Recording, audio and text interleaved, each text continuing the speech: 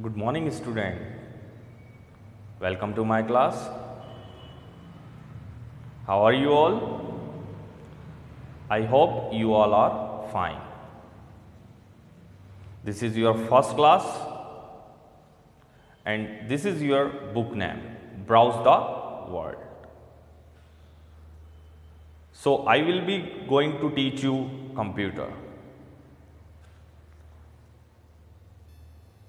Your first chapter name is Input and Output Devices. So, before explaining input output devices, I will explain you what is computer. A computer is an electronic device that can accept data and instruction, process them or store them for later retrieval and sometimes generates output. Got it? So, here you can see the block diagram of computer. So, computer takes input from the keyboard or mouse. Who will process it? CPU. So, CPU consists of three parts arithmetic and logic unit, control unit and memory unit. And where you can see the output on the output screen that is monitor. So, we can say that a computer takes input from the keyboard and mouse, CPU process it and it generates output on the output screen like monitor. Okay. So, we can say that computer works on a input process output cycle that is input process output cycle IPO cycle. Next, what are the software and hardware?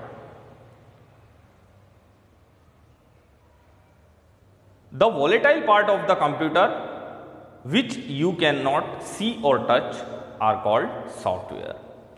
Here you can see some images of software like Linux, Windows, MS Word, antivirus, etc. Hardware, the physical part of the computer which you can see or touch are called hardware. Here you can see some images of hardware like monitor, keyboard, mouse, speaker, scanner, etc. Next, input device. The hardware used to enter data and instruction by the user are called input devices. So, suppose if you want to type an application. So, with the help of keyboard you can type it. So, some example of input device like keyboard, mouse, scanner, digital camera, etc. Here you can see some images of input devices, keyboard, mouse, joystick, trackball, scanner, touch screen, webcam and microphone. So, firstly we will discuss what is a keyboard. Keyboard is an essential input device of the computer. Okay? A keyboard is an input device that uses an arrangement of keys or buttons that have letters, number or symbols that when press the letter on the keyboard then shows up on the screen. So, whatever you will type by the keyboard it will show on the monitor screen. To display some symbols you need to press combination of keys then the symbol you desire to display on the screen. Parts of keyboard. So, commonly there are 5 types of keys available on the keyboard. First alphabetical keys from A to Z. Second, numeric keys from 0 to 9.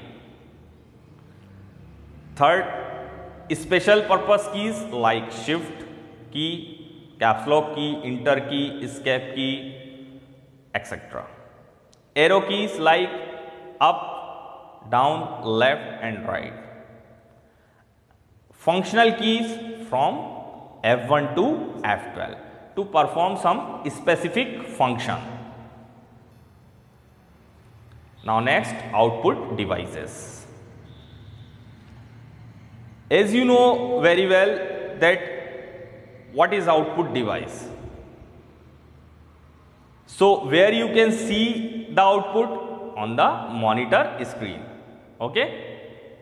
So the computer communicates with the user by an input device. From an input device, the CPU processes it and its results are on the output devices. So firstly, computer takes input from the keyboard and mouse, CPU process it and it generates on the output on the monitor screen.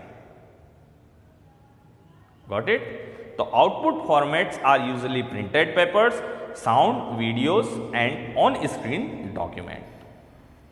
So here you can see some output devices of the computer like monitor, printer, speaker, headphones, projector, touch screen, plotter, GPS, etc. So monitor. Monitor is an essential output device. The function of a computer monitor is to display signals on the computer screen. Okay. So where you can see the output on the monitor screen. Okay monitor screen will display you the output. Here you can see some types of monitor like LCD, CRT, LED. LCD stands for liquid crystal display. CRT stand for stands for cathode ray tube and next LED stands for light emitting diode. So today we have discussed some input and output device. I will explain about next topic in the next class. Thank you.